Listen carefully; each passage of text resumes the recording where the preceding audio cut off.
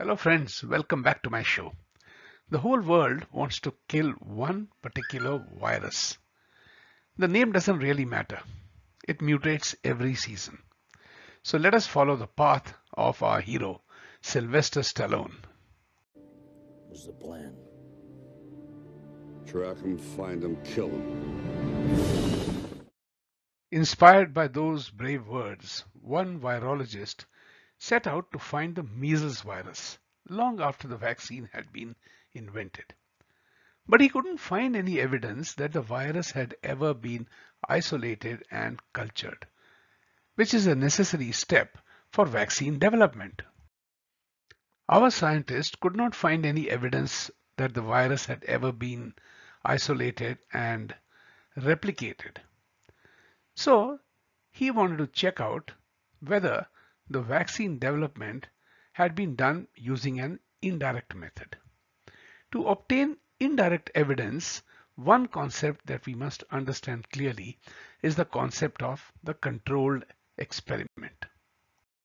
A controlled experiment studies the effect of an intervention or an activity by comparing it to the result of a similar experiment or activity without that particular intervention. So if we are studying the effects of say fertilizer X, we would divide our experiment into two parts. One with plants which are labeled as experiment group and the other one as control group. The plants in the experiment group would receive a biofertilizer and the other group would not. So at the end of the experiment, we will be able to establish very clearly whether the experiment was able to demonstrate that the biofertilizer had any effect at all. To study viruses and their harmful effects, an experiment would look something like this. A small quantity of living cells is taken and then 80% of the nutrients which are supplied to those living cells are stopped. This is to make sure that the cells are hungry for nutrients and they are receptive to absorb the alleged virus. The next step is that this sample is treated with antibiotics. This is to make sure that it will kill any bacteria that would likely interfere with the results. This is a very important step because we want to make sure that it is the virus that is going to kill the living cells if it is dangerous. Now we divide this into two batches. One batch would be infected with blood or saliva from a person who is infected or supposedly infected by the virus. Then we would expect that the living cells would die. And what would that prove? That would prove that the living cells were killed by the virus. So far, this is very easy to understand. But hang on, we have not done yet because we haven't done the control experiment. And we repeat the steps as we did in the first case, the only difference being that instead of infecting it with blood or saliva, we just add some neutral material. That means there is no infectious material added to the sample. Now there are two possible outcomes. One possible outcome is that the living cells do not die. The other outcome that can be expected is that the cells would die anyway. What would that prove? That would prove that the viruses did not kill the living cells in the first instance. As a matter of fact, it has often been found that when hungry cells are treated with antibiotics, they die anyway. So they have to work around some new methods in order to make sure that they are able to confirm that it's the virus which is the cause.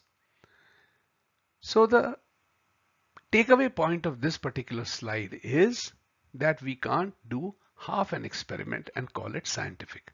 We must have a control experiment and in that control experiment we must make sure that the cells don't die anyway without an infectious material.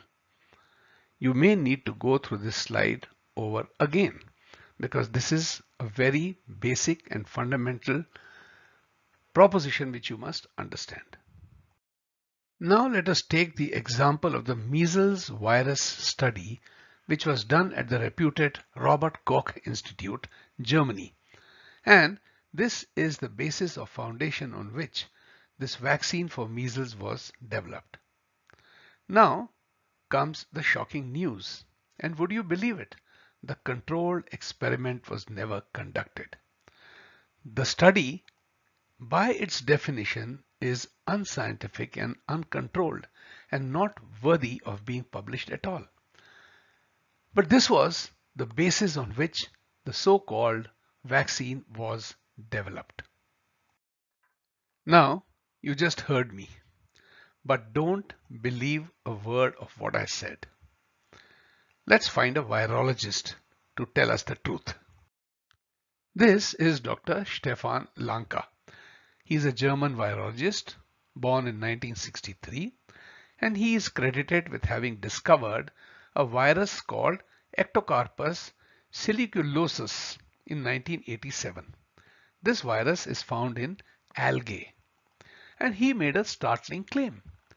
He said that in his research and literature survey, he had found no evidence of the measles virus ever being isolated or any evidence that a controlled experiment was performed during the development of the vaccine. He offered a hundred thousand euro prize if someone could come up with the evidence to show that this indeed was the case. I will now go through the sequence of events that followed. In November 2011, the prize money of 100,000 euros was offered. By January 2001, there was one claimant whose name was Dr. Bardens, and he came up with some six papers claiming that there was evidence.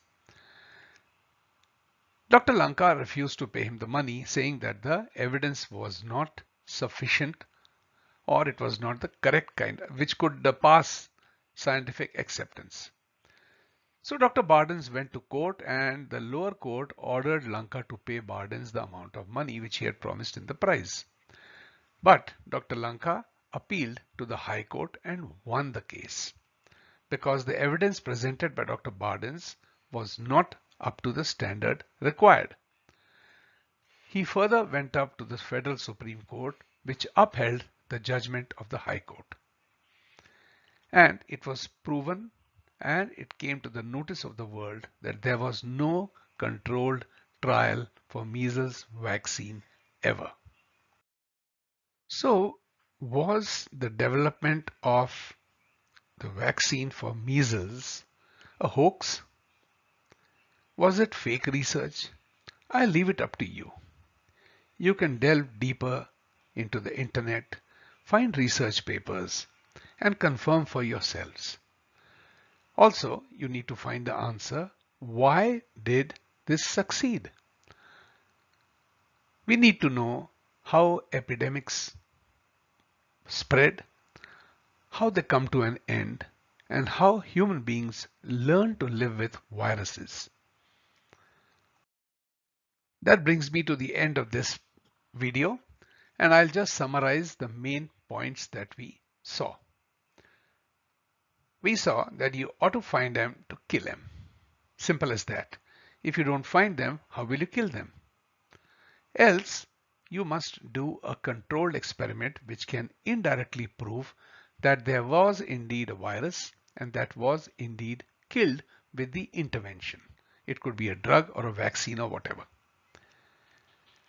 We also saw that neither of these two things, that means neither were they found nor were controlled experiments then done in the case of the measles vaccine.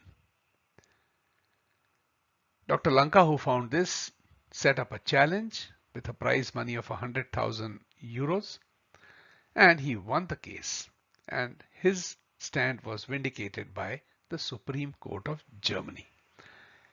So friends, thank you for your attention and that brings me to the end of this video and we shall meet once again in another video. Until then, bye bye.